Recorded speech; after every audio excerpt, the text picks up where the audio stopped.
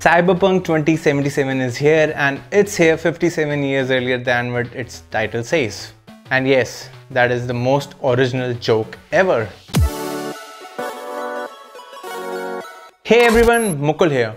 So as I was charting data and stats and numbers for the RTX 3080 which I borrowed from a friend recently, the launch of Cyberpunk 2077 couldn't have come at a better time. So I was like, what the heck? And I rigorously tested it on both the RTX 3070 and the RTX 3080 and compared screen recordings of how good or bad the different DLSS modes look. I will also share the different DLSS modes benchmarks with and without RTX in the video too. So without wasting much of your time, let us get right to it because unlike CD Projekt, who actually deserved all this patience from all of us for making this beautiful game, I would get a good thrashing if I made you wait any longer for the numbers. Here are my system specs and yeah, I need that much of uh, RAM for some reason. The scenes I tested weren't combat ones, so it's fair to say during any intense combat scenarios, the average FPS could drop even more. So let's start with how the RTX 3070 performs at 1440p. Clearly Cyberpunk guys knew what the Psycho RTX preset will do to, to, a system and they aptly named it that. The game is unplayable on RT Psycho with DLSS off, but it sees about a 75% boost in DLSS quality mode and about 20% from quality to balanced mode. In 4K, it's absolute garbage with DLSS off and uh, with on, it just feels a little less garbage in my opinion. And the DLSS balance mode doesn't see a huge improvement either. In RT Ultra mode with DLSS off, the game just passes over 30 FPS mark and gets almost twice the frame boost as soon as you hop onto uh, the DLSS quality mode. But from there, the improvements are just marginal. In 4K, let's just forget I put the DLSS off frame rate there. And in DLSS quality mode, the 30 FPS mark is just not satisfactory enough for the PC MR race. But there is a decent performance gain of about 50% in DLSS auto, but the mystery behind that auto mode isn't clear to us, and by us I mean I. The Cyberpunk guys quite cautiously named the lowest RT mode as medium and not low or lowest as it might sound negative and no one can happily gloat something like that hey I get about 80 FPS in the lowest ray tracing mode. I mean it will definitely sound much better that hey I get 80 FPS in about the RT medium mode. So yeah, the game happily touches 80 FPS in balanced mode and from there it sees about 10 to 20% performance enhancements from the performance to ultra performance DLSS modes.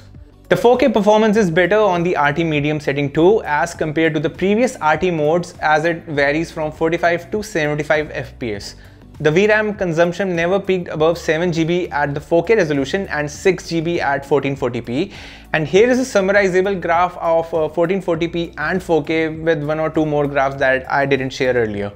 So yeah, the RTX 3070 can't happily run this game at 4K till you hop onto the DLSS Ultra Performance mode.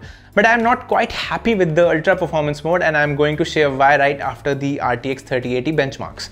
So on 1440p RT Psycho mode with DLSS off, the RTX 3080 gets a decent 39 FPS but right after you turn on the DLSS to quality and balanced mode, you see a massive gain of 80% which is good for your eyes as asserted by some top PCMR scientists. At 4K, Cyberpunk just destroys the 3080 at the Psycho mode, which is, well, Psycho for sure. To even have it remotely playable, you can't use anything below the DLSS balanced mode.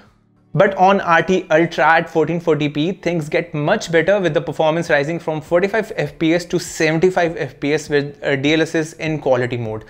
But notice the performance at Ultra settings with both RT and DLSS off and both RT and DLSS on, the frame rate is absolutely the same. So it's better to sometimes let the code do its thing.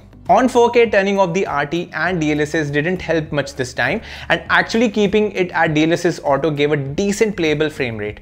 And let's just be honest, uh, there is no one who would want to play this game with the settings on the lower two graphs at 4K resolution. On the RT medium setting at 1440p, you would find ample fun in all the different DLSS modes. I mean the 113 and 92 FPS marks are great performance, but we would assess in just a moment why I am not going to be a big fan of those. On 4K, the DLSS performance mode will get you around 60 FPS, but the balance mode is not looking bad either. Across all the tests, even at 4K, the game never hogged more than 7GB of VRAM. I would say these numbers look quite close to what we saw with the RTX 3070. And here are the summarized charts of both 1440p and 4K with RTX 3080. Pause and enjoy. The RTX 3080 costs 40% more than the RTX 3070 but the performance gain here from both of these cards across the average of all the tests isn't anywhere close to that. I would say it's roughly around 20% and this is exactly why I never ever buy the most top tier components of anything. And also because I never have that much money available to burn. Now during my tests, I would say that I would rather prefer balanced DLSS option rather than anything else. You can clearly see here how blurry the performance and how terribly blurry the ultra performance scenes look like. It clearly can't get any clearer than this. I mean clearly can't get any blurrier than this. Also the flickering around the edges of various assets here in the performance and ultra performance mode is terrible too. And it almost makes the game completely useless to me personally.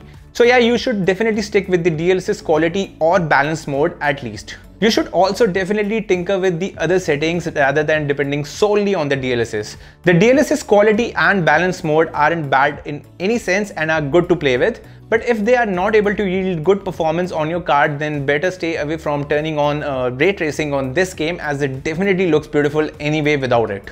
But if you're someone who recently bought the 3000 series or the newer Radeon 6000 series cards, listening to that would make you feel like slapping me. So thank god this is a video format. I personally didn't try running this game at 1080p because if you're someone who bought the RTX 3070 or the RTX 3080 then you'd be a fool if you want to play uh, at 1080p with those graphic cards. Of course, after the many optimizations this game will go through, it will definitely keep uh, getting better, but we have no idea how much or if that would even be as drastic as some people are ex already expecting it to be. It took me many hours to compile all this data, so do leave a like and sub with the bell if this video helped you in any way. That's all for today. MuBot out.